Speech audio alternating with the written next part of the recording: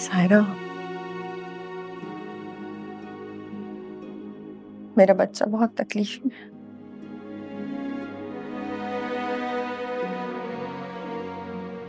उसे दुआओं की बहुत ज़रूरत है। दुआ करोगी नफ्स के लिए?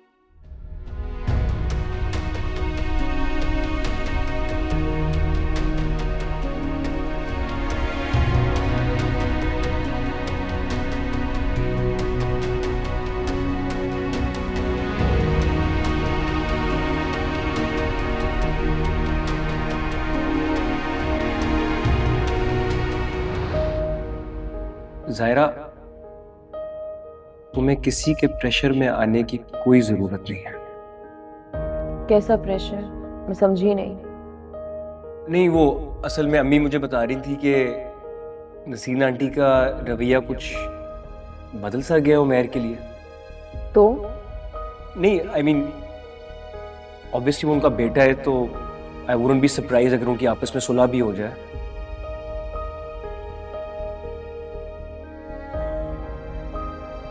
देखो ज़रा I don't know I seriously don't know अगर नसीन आंटी वापस आती हैं, या अपने बेटे के पास वापस जाती हैं.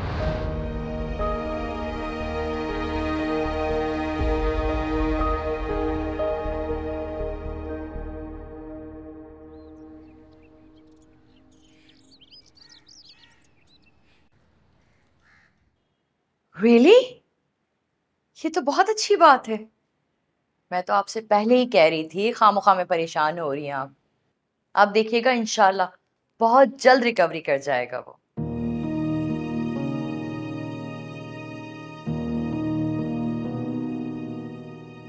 अच्छा प्लीज़ किसी भी चीज़ की ज़रूरत हो, आप हमें ज़रूर बताएँगे।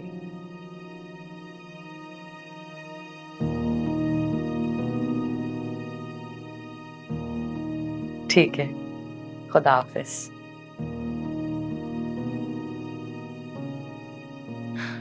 नसरीन भाभी को कॉल की थी मैंने उमेर की खैरियत पूछने के लिए।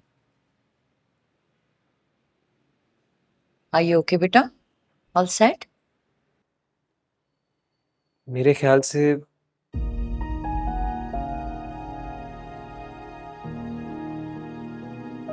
हमें भी जाना चाहिए। हॉस्पिटल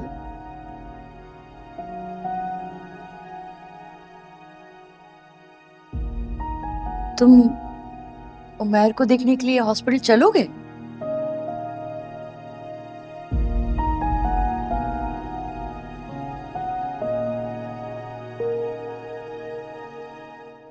दोस्त था मेरा। हाँ दोस्त था। अब नहीं रहा ना। इसलिए हैरान हो रही हूँ। कभी तो था। मेरे ख्याल से हमें जाना चाहिए। अगर आप भी साथ चलेंगी तो अच्छा होगा।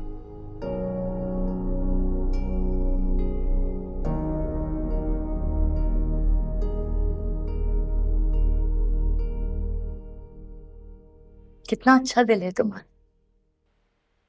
प्राउड ऑफ़ यू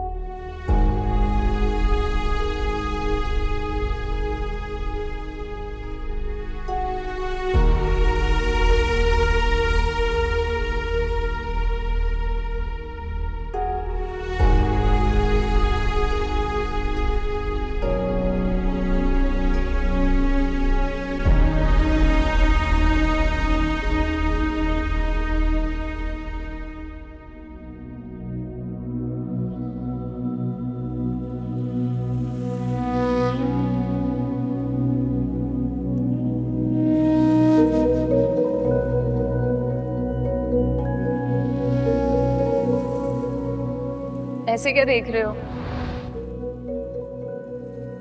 ये देख रहा हूँ कि कोई इतना हसीन कैसे हो सकता है? Quite frankly, white suits you a lot. तुम्हें ना अब सिर्फ़ white पहनना चाहिए। तो मैं आज के वक्तों में ऐसी बातें कौन करती मैं करता हूँ क्योंकि मैं मोहब्बत करता हूँ तुमसे। और ट्रस्ट में किसी भी जमाने में मोहब्बत करने वाले ऐसे ही बिहेव करते हैं। शादी के बाद ना तुम्हारे वार्डरोब में मोस्टली व्हाइट होगा। सीरियसली उमेर बिल्कुल।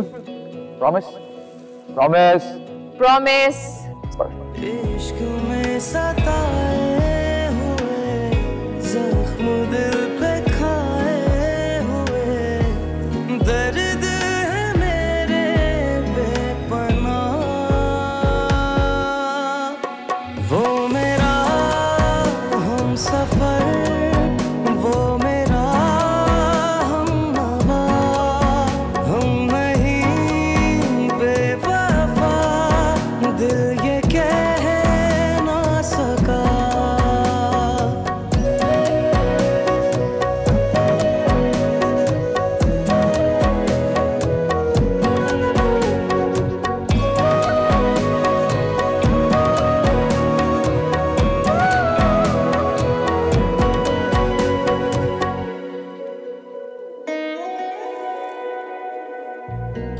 तुमसे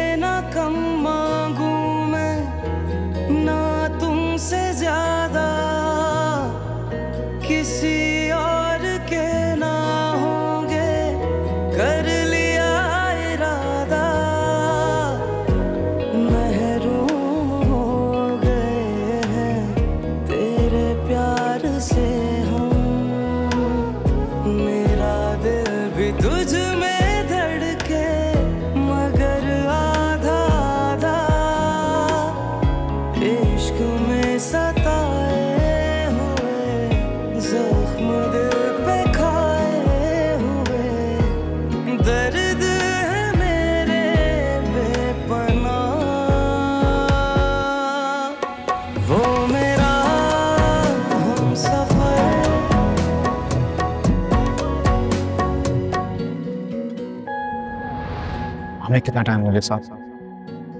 साल हो गया। कुछ ज़िंदगी गुजारने का फैसला एक ही लम्हे में किया जाता है।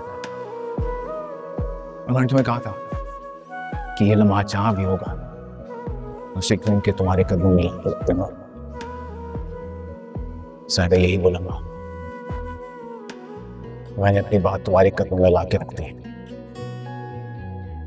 ट्रस्ट मी तो शादी के बाद जैसे भी ज़िंदगी गुजारना चाहते हो। मुझे कोई मसला नहीं। मैं कोई रिस्ट्रिक्शन नहीं लगाऊँगा तुम पे। तुम्हारी जो भी कंडीशन है, जो भी शर्त है, मैं मानने को तैयार हूँ। लेकिन तुम्हारे बगैर अब ज़िंदगी गुजारना बहुत मुश्किल होता जा रहा है जायरा कैसी तन्हाई मुझको तेरी याद आई। कुछ तुम भी कह ना सके, कुछ हम भी समझ ना।